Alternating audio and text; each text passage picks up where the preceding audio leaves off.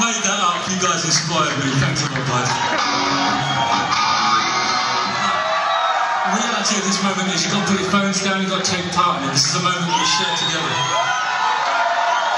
Be present, conscious. Conscious, is that what people say nowadays? Conscious.